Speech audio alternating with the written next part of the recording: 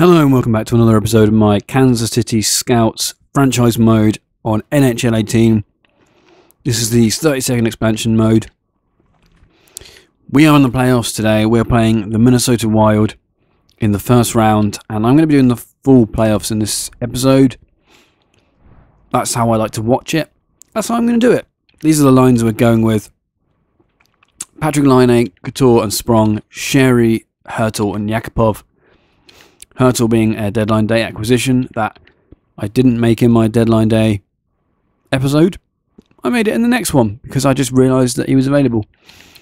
And then on defence, we've got Orlov and McAvoy, Nurse and Juolevi, Alexiak and Reinhart.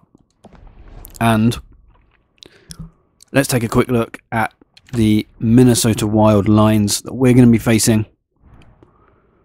Uh, Richie got pretty good. Medium elite. I think he starts low elite, doesn't he? He looks pretty juicy. Complete side note, he's not in the Minnesota Wild. Let's go to the Minnesota Wild. Nestrasil on their first line, who is a third line checking forward and a right winger. I don't understand these lines. What are they thinking? Bill Dowd got 55 points. What did Burker get? Did he get better than that? 46. I don't understand why he's on that line. You'd think he'd benefit greatly in points from being on line with Granlund. How did Granlund do? 58 points. Seems like a really logical step. Zucker as well on the third, second, I don't really understand. 51 points. What about Coyle? Because Coyle's not a big point producer. 30 points. Feel like Dowd and Zucker would be even better, and so would Granlund, if you switch Nestrasil and Burker with Bill, uh, Dowd and Zucker. But what do I know? Eriksson got 46 points from the third line. That's pretty nice. They're nothing particularly unbelievable anywhere, but neither are we. We're pretty weak, and especially in our depth as well. Defensively, Suter is still rocking on 89. Pretty good, but he's 36 with five years left on his contract, so it's not going to be great in a while. Dumba and on the line with Suter, Savard and Dahlin, and then Scandella and Spurgeon. They're definitely better than us defensively. And Devan Dubnyk in goal is an 88. They're better than us in goal as well. They are a better team than us, but not crazy ahead of us. I mean, the best player in the series should be Patrik Laine in terms of just overall. So we have him. Let's just go into the first game. We won the last three games in the regular season. We slow simmed them because we were losing games, but Rasmus Dahlin and Bill Dowd scored two in the first period on Jonas Korpisalo. Dimitri Jaskin gets one back in the second period. Let's go slow. They're out shooting us badly.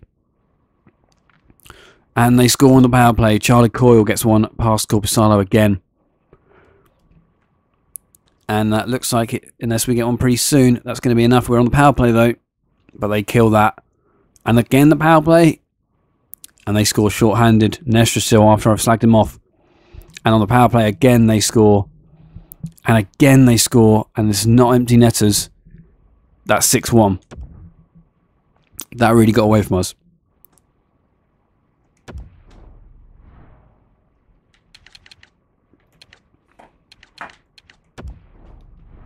And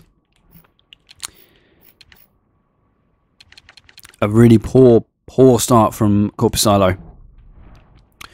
I, I think we have to just write that one off. Did not go our way in any possible way. I don't know what word I'm trying to say.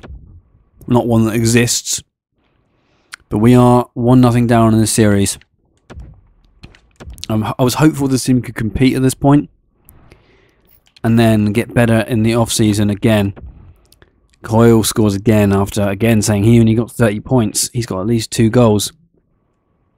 11 shots apiece. 3 nothing. Coyle again. This game's over. Wow. Patrik Laine gets a goal back. We're Doyd, uh, Dowd again. We're getting destroyed. We really are getting a bit done over here. Let's take a look at those lines then, because it's already at a point where we need to make changes. We've lost both of the first two games, but we've lost them badly. That first line is a, is an even even strength line. Let's leave that as it is for now.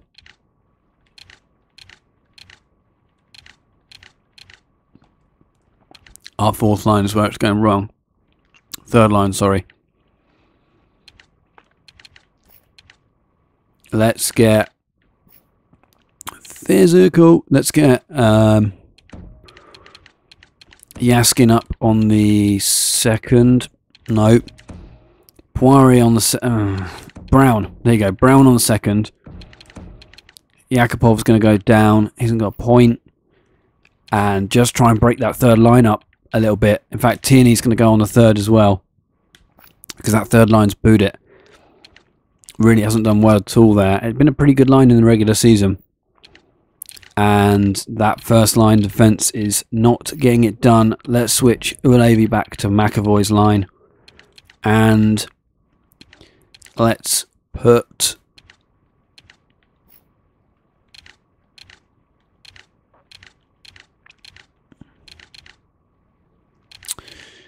let's give uh, Reinhart Reinhart some time with all of. But at the end of the day, if your goalie plays a .853 save percentage, it doesn't matter. The lines are insignificant. Unless that's just that he's facing a 100 great shots a game. Very, very poor start anyway. Let's try game three. But I'm not hopeful as it stands. A shutout period for us. 12 shots to 13. Ryan Suter.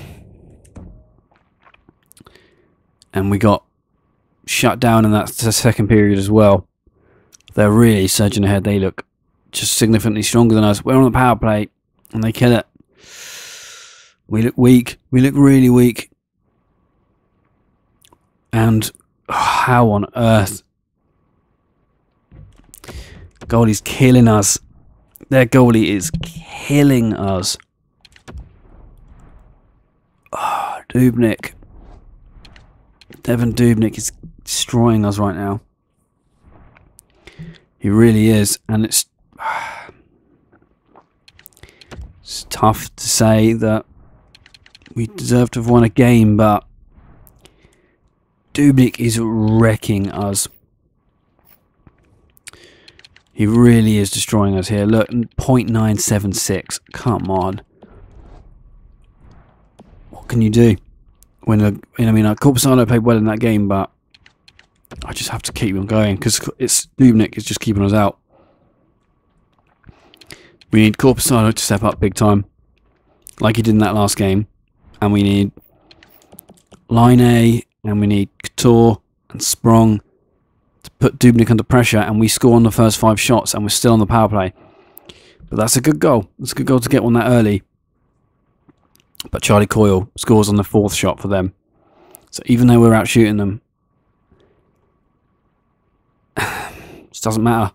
Look at this garbage. We scored on the fifth shot and we are still losing. Second period. Just Korpisalo. This is on him, mate. And look. Look at what Dubnyk's doing again. It's over.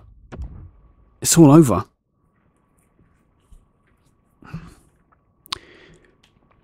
And I'm going to look at those stats. And you know what? I'm I wasn't expecting to go necessarily to win this Stanley Cup. But what the hell is that from Korpisalo? From all of our guys. But Korpisalo, I think, is the main the main culprit there. Look at that hot garbage. 0.878. Goals against average 4.51. You can blame the defence, but at the end of the day, 0.974 for Dubnyk. Their defence might have been garbage, but look at their points totals here. That's going to be obscene. Dowd, who is on their second line, got 10 points. Coyle got 10 points. Suter is a defensive defenseman. He got 6 points. That's really disappointing. If not all that surprising. Zach Parise still playing apparently. That was awful. That really was bad. Uh, what can I say about that? That's what happens. Korpisalo is only 87 overall.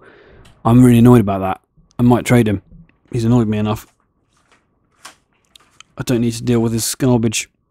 He was pretty decent in the regular season, I think. How good was he? Was depressing. He was 0.917. It's not terrible. It's not great. So, yeah, it's okay. Do we need to look at moving him? What's his contract?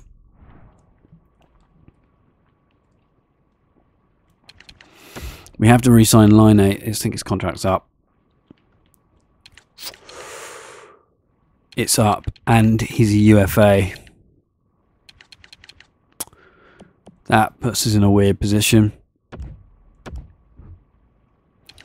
Because he's just not not justified that price tag in the slightest in that last game.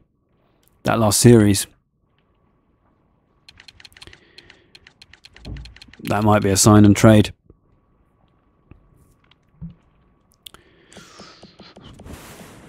We need something there. I don't know what we needed.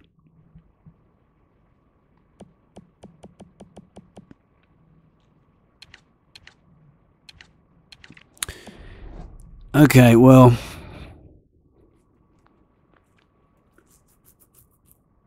I'm going to wait on the re-signings until the re-sign phase because I think they might get a bit cheaper. But I'm going to just sim to the draft and then leave it when we have the final rankings. We know who we got to trade with and we can see what's up. Amateur scout calling. Let's go to the SHL defenseman for four weeks. And then after that, I'll just let the guys, I'll let the scouts do what they want. everyone good's in the WHL, it seems. In fact, I might send them back to the WHL just to get a better idea of the uh, forwards again. Teals, who we're after. He is the uh, franchise centre. Yeah, let's do that. Let's do four weeks there. Just make sure we get the best idea of all of those forwards if we can. The Florida Panthers were the uh, highest number of wins in the regular season, 49. I think they finished fourth overall, but they do take the Stanley Cup. And I'm just a bit I'm a bit shocked by that really. I wasn't expecting to get swept. Vancouver and Boston got lucky on that one with a traded draft pick. And we're going to have to try and trade with Vegas. Now, what are they like? We can take a look at that in a second. And I mean, this has been a shorter video, so let's take a look at retired players. Rick Nash is gone, so that's a lot of money gone from our... That's 3 million gone immediately. Lupul, again. 6 million. We weren't going to re-sign him anyway, but... Uh, 0.75 for Upshaw, and... Yannick Weber went early, actually but he was rubbish. So goalies won't be anyone, I don't think, unless Varlamov decides to jump out. He didn't. Let's go to all. Hank, will you be there? He won't. Hank's holding on. I think he was pretty low overall at this point, but he's holding on. Why would he not? Look at that money he's getting offered. And Spezza, obviously Nash, Koivu, Koivu Koivu, Kesler, Krejci, Plekanec, Byfuglien, Vermette, Verneuf, Zajac, Callahan, Captain Kelly, Cromwell went, Joel Ward, anybody else interesting? Tooting went, Bolland finally went, 66 overall. And what was his contract? Oh, for some reason they re-signed him, I guess. Boychuk, Markov. That's a big one as well. Okay, let's have a look at the